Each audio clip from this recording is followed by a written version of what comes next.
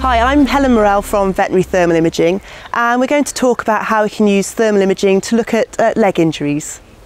So when we're thermal imaging legs, we need to capture all views of all of the major anatomical areas of the leg. So you look at the major joints, the tendons, the ligaments and the skeleton, the bones that are making up the leg.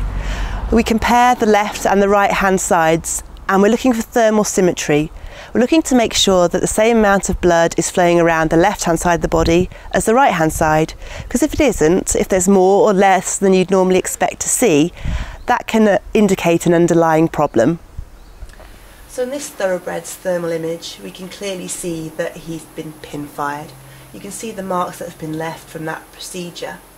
Thermal imaging is a really useful tool for monitoring tendons and ligaments and can highlight problems up to two weeks before they become clinically evident, possibly avoiding the need to pin fire in the future. So some routine thermal imaging of this filly's foreleg actually highlighted a really extreme hot spot in the pastern. It was immediately referred to the vet who took some x-rays and actually identified a bone cyst at a very, very early stage of development. This meant that uh, pinhole surgery could be undertaken immediately and the prognosis is absolutely excellent now. No bone grafting was needed and this filly just has a one centimetre scar to show for the ordeal. So thermal imaging of this show jumper, which had started to refuse, has shown an area of inflammation in the left hock. We can see that as the ring of heat around the joint.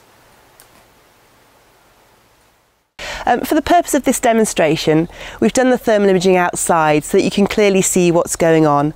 But normally thermal imaging must be done undercover, away from direct sunlight and away from any drafts. Environmental factors like this can influence the images and create artefacts or anomalies within the pictures that you're viewing.